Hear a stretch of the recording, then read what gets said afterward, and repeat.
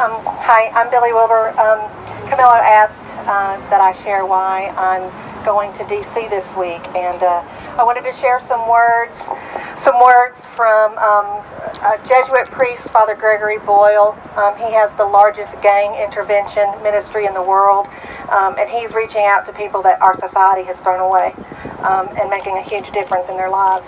He recently wrote a book called Barking to the Choir, and I want to share an excerpt from that. In a recent New Yorker profile of American Baptists, the congregation's leadership reassigned itself, resigned itself to the fact that secular culture would always be hostile to Christianity. I don't believe that's true. Our culture is hostile only to the inauthentic living of the gospel. It sniffs out hypocrisy everywhere and knows when Christians aren't taking seriously what Jesus took seriously. It is by and large hostile to the right things. It actually longs to embrace the gospel of inclusion and nonviolence, of compassionate love and acceptance. Even atheists cherish such a prospect. So the choir is everyone who longs and aches to widen, widen their loving look at what's right in front of them. What the choir is searching for is authentic. The choir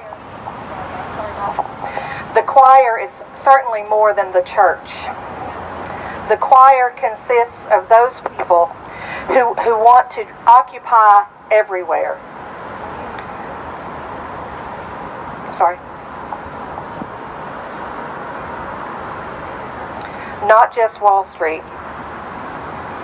And, the choir wants to seek in the here and now what the world is ultimately designed to become.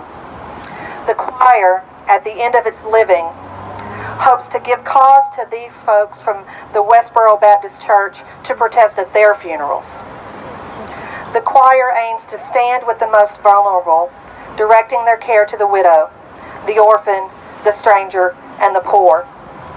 Those in the choir want to be taught at the feet of the least.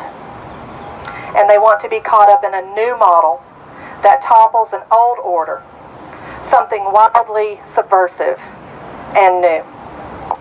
Um, I read this on, on the plane to LA this week, knowing that today we would be talking about doing something wildly new and subversive and being a subversive people. Um, and we do that through the love of Christ. So.